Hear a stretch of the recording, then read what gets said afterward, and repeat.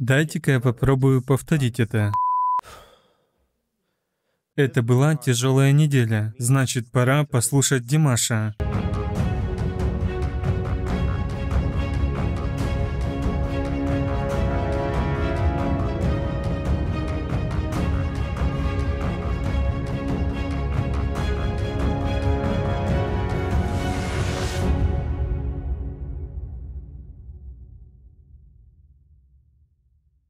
Привет, это Age of the Stage. Я музыкант и преподаватель по вокалу. Если вы тут впервые, то добро пожаловать. Сегодня я собираюсь сделать реакцию на чудесного Димаша Кудайбергена. Спасибо, что смотрите мои реакции. Без лишних слов.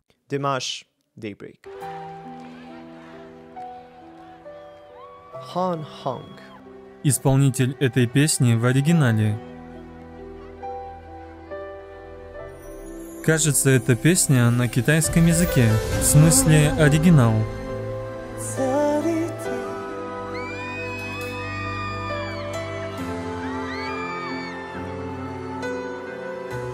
Даже сам инструментал, как всегда, в ударе.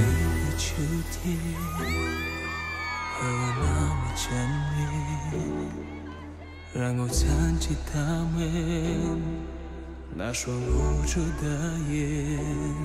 住在那美丽风景灿烂的地方。 Это как массаж. 不停地为谁 То, что мне было нужно. 坚持山谷。 Этот красивый низкий тон. 是那个秋天，才感悟到花的脸。 Словно он поет дуэтом с самим собой.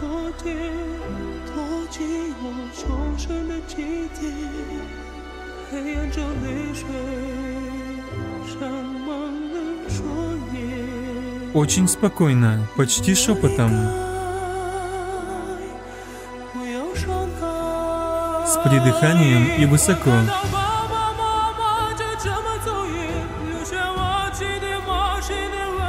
Ёпрст, я уже и забыл, как хорош этот парень.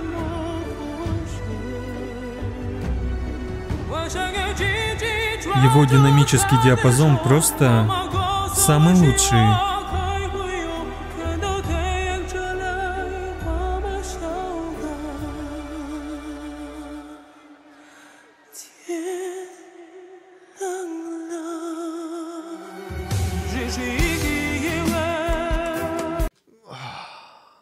Димаш, Димаш.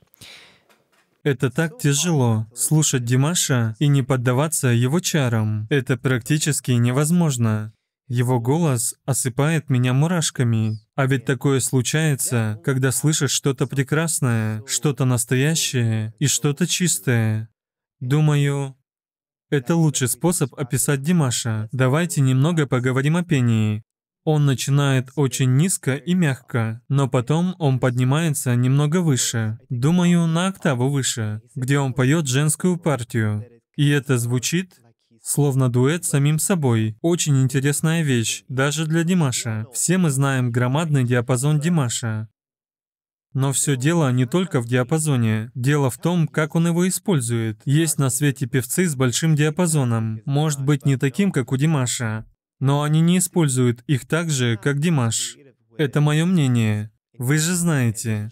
Я не могу судить объективно, потому что я просто обожаю все, что делает Димаш.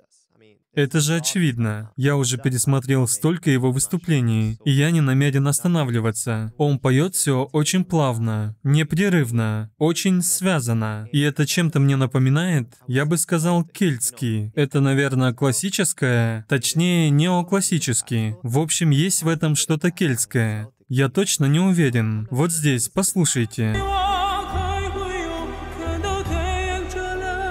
Вот здесь.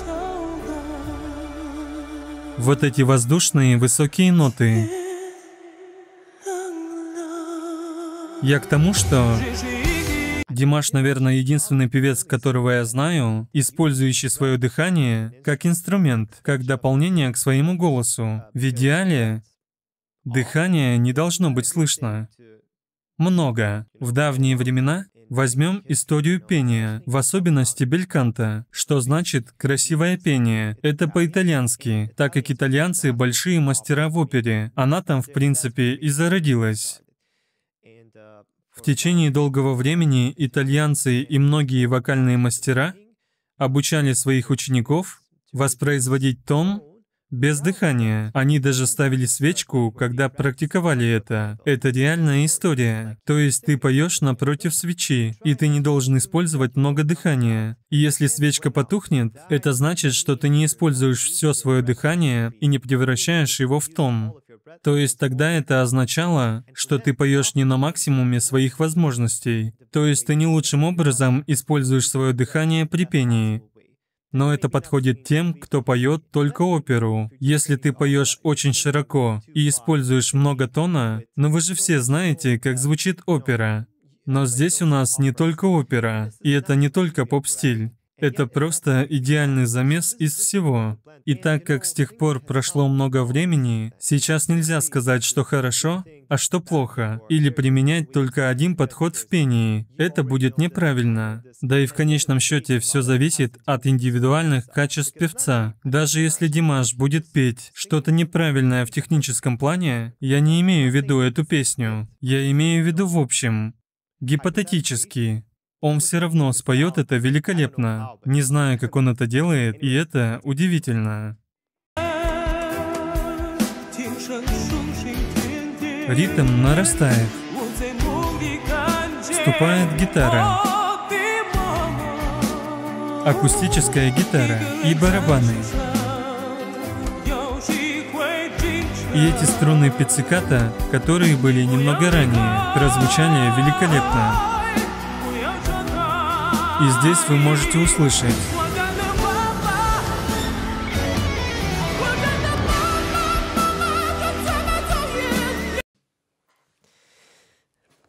Я уже сам не знаю, любить его или ненавидеть. Просто я так завидую его голосу. Этот парень просто зверь. Вы можете заметить, что когда он идет вверх, когда он переходит в этот оперный регистр, он использует меньше дыхания. В смысле, его дыхания больше не слышно. Его не так много, как в начале. Вот что я хотел объяснить на примере со свечой. И он, походу, знает об этом. Он же профессионал.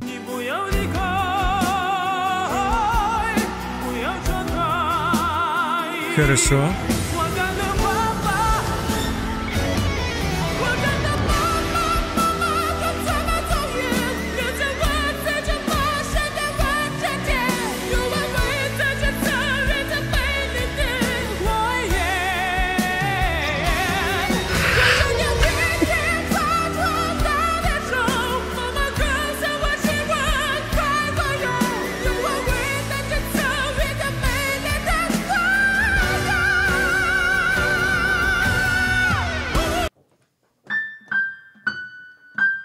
Я думаю, это нота фа диез. Ёшкин кот. Очень высокая нота фа диез.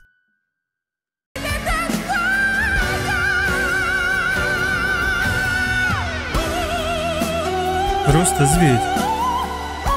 А тут уже оперная сопрано. Он что, бесконечный?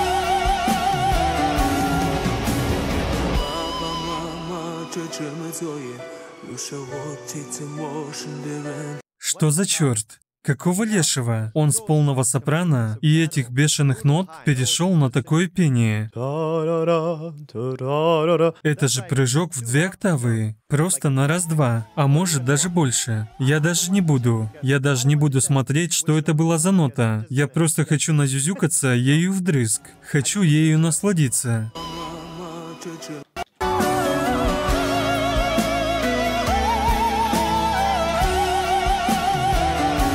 И потом... Как делать нефиг? О, мамочка. Димаш, Димаш.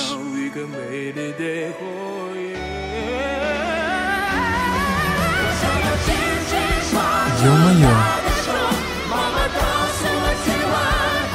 Я еще сюда вернусь. Не хочу это останавливать.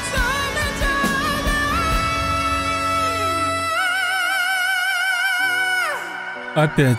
Фа. Вот зверюга. Как я мог пропустить эту песню?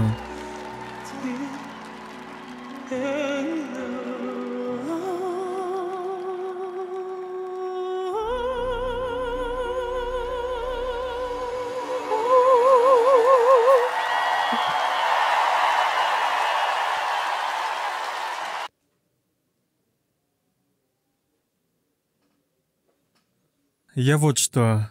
Димаш. Этот парень, он мое лекарство от депрессии. Каждый раз, когда я без настроения, или я чувствую себя плохо, или еще что-то. Как я уже сказал, эта песня пришла, точнее, явилась мне, как раз вовремя. Давайте посмотрим парочку запредельных моментов. В этом моменте он с сопрано перешел вот сюда. Ядрена Матрена. Просто... Просто посмотрите на это. Это ж такая разбежка. А потом он падает на колени. В прыжке падает на колени и даже не теряет тон. И даже не кричит от боли. Ведь это выглядит очень больно. Какой же он безумец. Этот парень настолько удивительный. Настоящий артист, потрясающий музыкант. Он поет вроде бы на семи языках. И, видимо, не чувствует боли. А может быть, он и есть Бог. По крайней мере, полубог.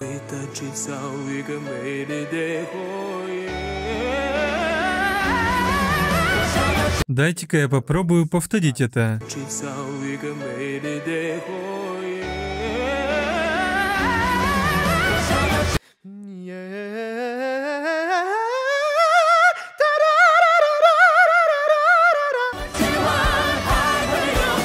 Уж этот парниша.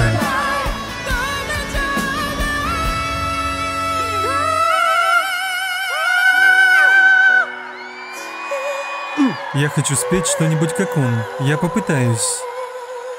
Ведь только так можно чему-то научиться.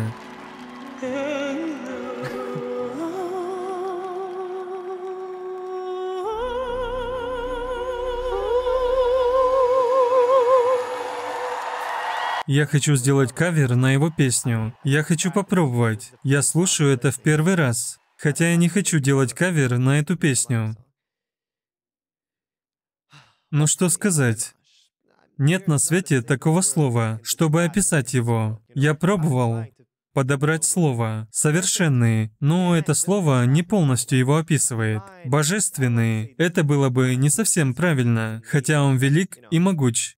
Божественный — это как-то неправильно, так как я верующий. Но он, возможно, как полубог, что-то типа Геракла, что-то типа того. И все-таки лучший способ описать его — это сложить все вместе. Весь диапазон, каждую эмоцию. И динамический диапазон тоже. Именно в этой песне. Он начал так нежно и довел это до взрыва. И если все-таки сложить все это вместе, мы можем подобрать одно слово démarche.